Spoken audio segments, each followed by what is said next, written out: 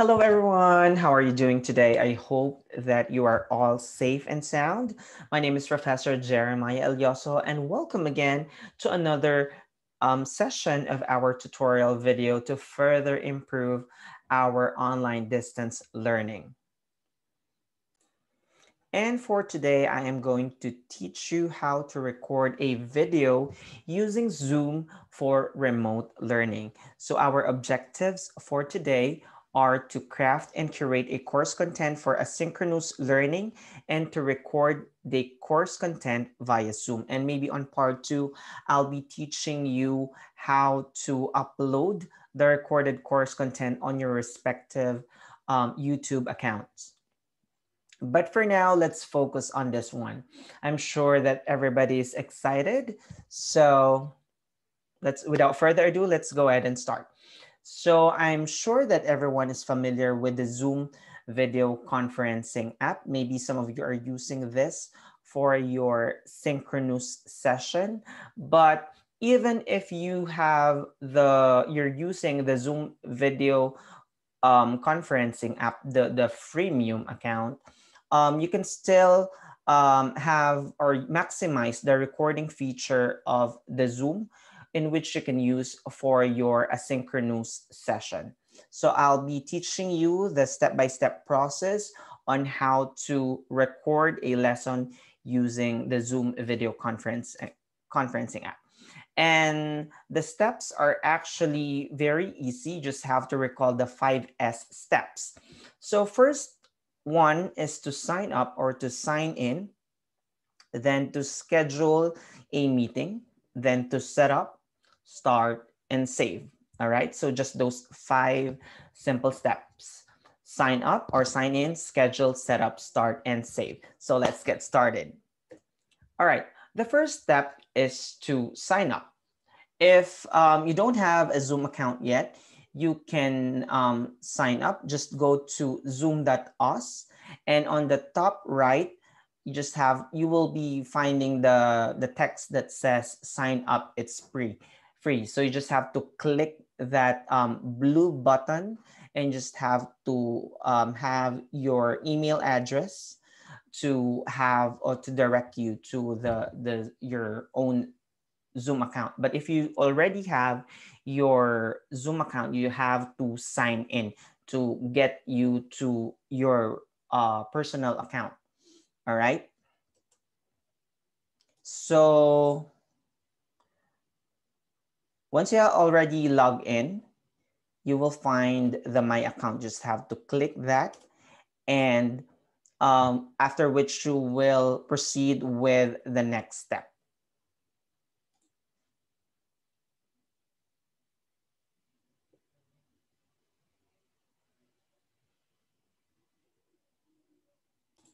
All right, so our step number two is to schedule a meeting. So on the top bar, you will find schedule a meeting.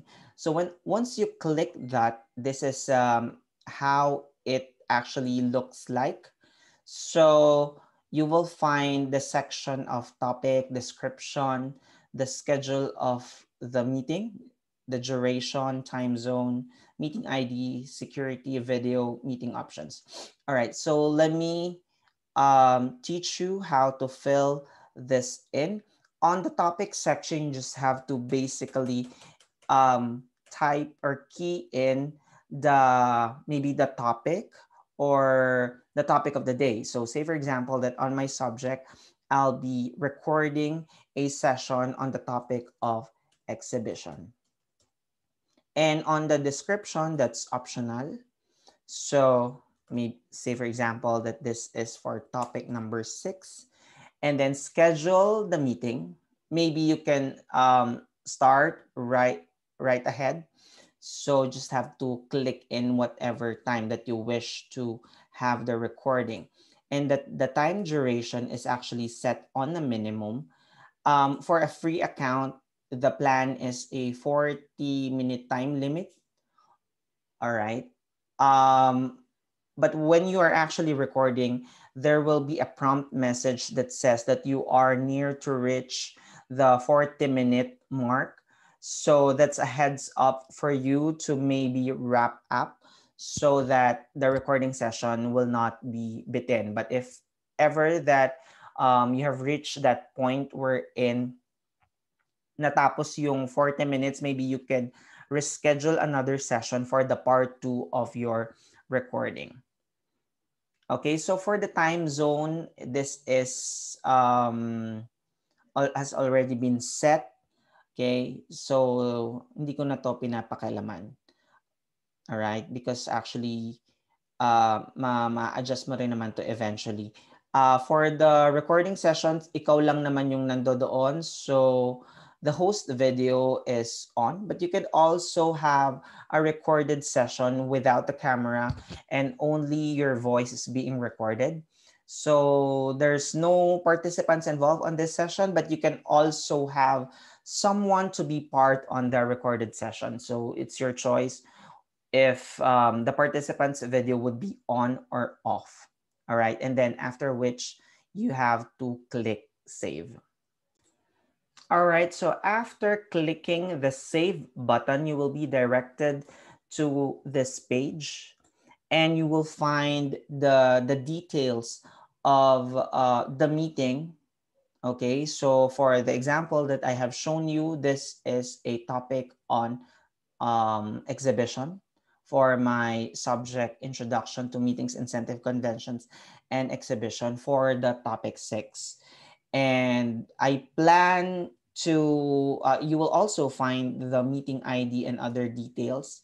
So if you would have other people to be part of this recorded session, you can um, just click this to copy the invitation and send the, this to other participants. But if it would just be only you on the session, you can go ahead and start the recording. But I mean, you can start to enter the Zoom room by clicking this start this meeting button.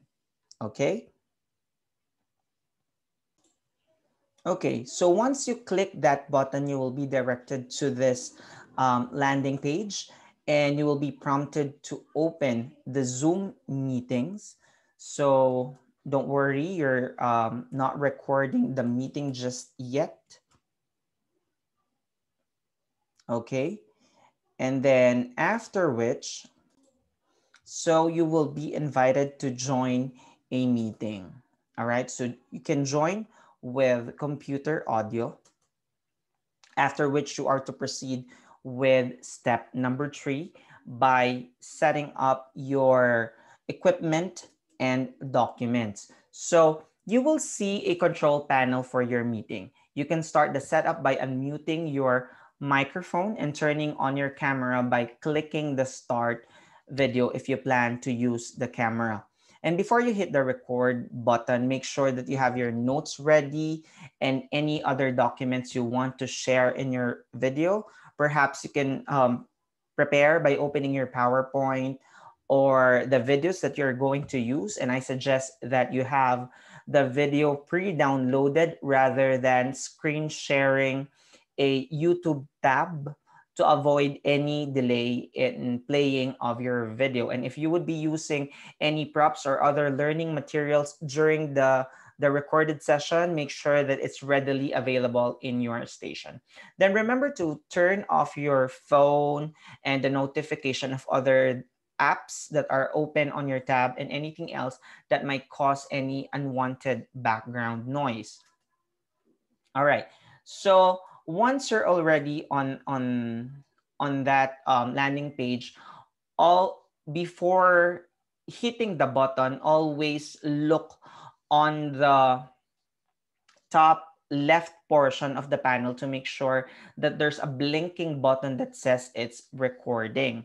Okay, make sure that you familiarize yourselves with the different buttons here.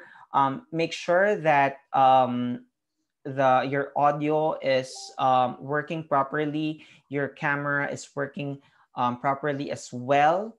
Okay, and if you would be needing to screen share your PowerPoint presentation, make sure you click this button and be familiarized with this um, button as well for you to record, pause, and stop the recording. And once you're done, you can click the end button over here. All right. So once you are ready, you can go ahead and begin recording your video, which is the step number four. So your mic and camera has already been set up. Now it's time to share your screen. Click the share button on the control panel and select the document you want to share on your video. You can adjust your document to fit inside the green outline and note that the control panel is minimized at the bottom of the screen when you need it. When you are ready, hit the record button. Take time, don't rush through it. Pause if you need to. And you can also use your notes for guidance. When you're done recording your document, go to control panel at the bottom of the screen, select more to stop recording. And when you're completely finished, go to control panel menu, select more and end meeting or end meeting for all. All right, so this button allows you to share your PowerPoint, your video, or any learning materials that you wish to share with your target audience. Okay, so when you click that, make sure you um, select the proper window of the application that you want to share. All right. You can also, um, when, you, when your presentation is finished, you click stop recording in the more menu and click end meeting when you're finished. And the recorded meeting will be recorded or converted to MP4 once the meeting has been ended.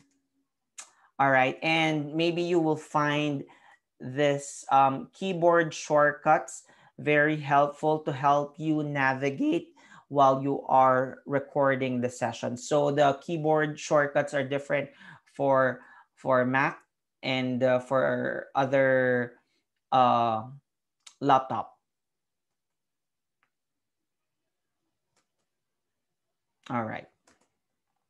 And the fifth step would be to save your video. Again, as I have mentioned that when you're done recording, you can um, end the meeting and Zoom will convert your meeting to a recording and you will be taken to your Zoom desktop folder where you will see your recording has been saved for you both in MP4 and audio files only. So you see that here there are um, the your session is being saved in MP4, which is you will find it here Zoom zero, and the audio version is also here for whatever purpose it may serve, maybe for editing purposes, and also you can use that for a um, podcast version of your lesson. And there's actually step number six, which is an optional step if you need to edit further your video to make it more engaging if or if you wish to add more um, dimensions and character for your video. So, again, as I've said that this is optional or it's not necessary to edit your video so long as you keep your video short, clean, and clear, you are good to go. However, if you do find that you need to edit or cut out some parts, maybe you would need a third party editing tool. Um, I do suggest that you use CapCut. I am using CapCut personally to edit some of my videos. All right, so actually that's the end of my presentation. I hope that you learned something new today. I hope that you would be able to prepare and record a course content via Zoom. And next time, I'll be teaching you how to upload that recorded session on your YouTube account. All right. So see you all on the next session. And I hope that you do have a great day. Thank you very much. Bye.